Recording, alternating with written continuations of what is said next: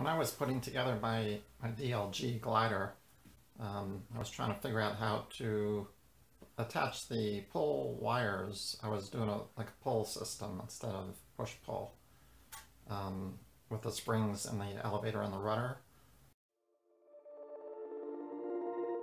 I want to show you guys some of the ideas that I came up with.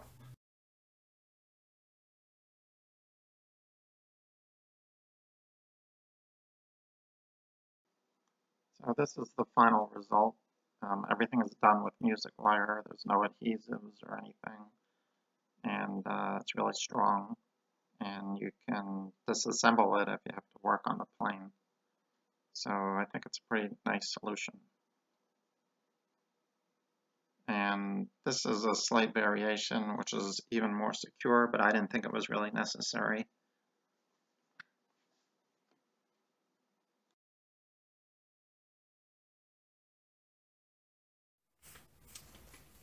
So this is uh, 9 thousandths, 9 mil uh, music wire, essentially, stainless steel wire. And that's going to be my pull line back to the elevator and rudder. And what I did is I attached it to two vice, two uh, C-clamps on the table. It's about, I think it's about six inches. It's pretty much like an equilateral triangle. So we have about 60 degrees here. So holding it this way and then I hooked up, uh, I made a little hook out of thicker music wire for the hand drill. And what I do is pretty cool. You pull here, you kind of keep it taut, and then just run the drill slowly, say about, um, probably do 5 to 10 revolutions. I've been using about 10. So watch what happens here. One, two, three, four, five, six, seven, eight, nine, and ten. It's a nice way to attach a wire to a servo arm in a neat way. There's no I didn't use any CA, no epoxy, because it's strong enough just mechanically.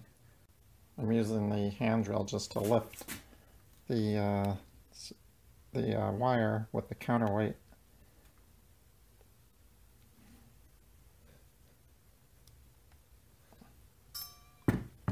So I've got nine pounds of pull on the twisted wire with no epoxy, no CA or anything.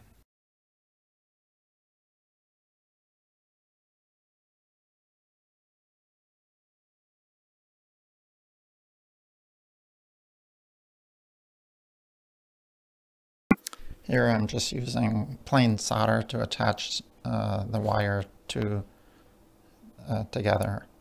And here just a simple direct connection, which I didn't feel was quite strong enough. And here some guys use shrink wrap with epoxy inside, but I didn't really like uh, that method.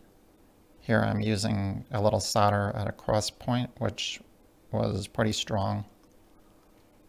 And here I'm trying uh, magnet wire wrapped around with epoxy